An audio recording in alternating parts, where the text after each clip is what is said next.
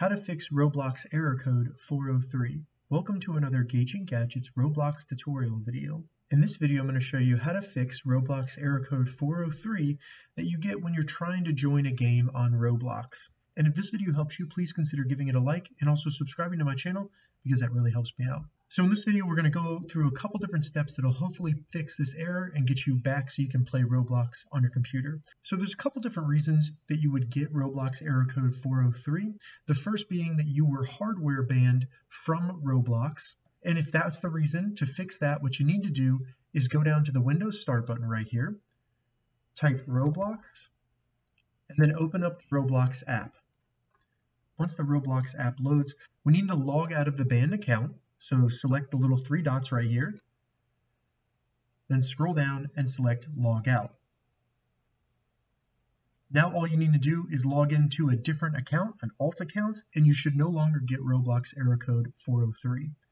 Now if you're still getting Roblox error code 403, what I recommend doing is going down to the Windows Start button again, searching Roblox, and you just want to right click Roblox, select Uninstall.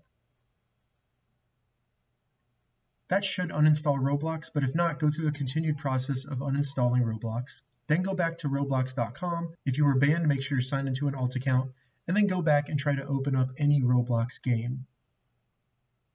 Once you try to open the game, it's going to see if Roblox is installed on your computer, and because it's not, we'll have the option to download and install Roblox again, so select that. Save the Roblox launcher to your computer, then open it up, and it should start installing Roblox again to your computer. Once it's installed, select OK, then go back to the Roblox website, try to open another game. It'll start opening Roblox again, and then this time, Roblox error code 403 should be fixed and you should be able to play Roblox. Now if that's still not working, it might be an internet network issue. First, if you're connected to a VPN, disconnect, then go down to the Windows Start button in the bottom left, right click it, and select Network Connections. Once Network Connections opens up, scroll down and select Network Troubleshooter.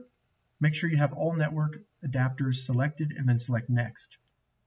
Once the troubleshooter has completed, you can then close the Windows settings and try to open up Roblox and your error code 403 should be fixed. All right, so that's how you fix Roblox error code 403. If you have any questions about this, leave a comment below. I'll get back to you as soon as I can. If you'd like to see more Roblox tips and tutorials, check the links in the description. If this video helped you, give it a thumbs up, and please consider subscribing to my channel, Gauging Gadgets, for more gadget reviews and tech tutorials. Thank you so much for watching.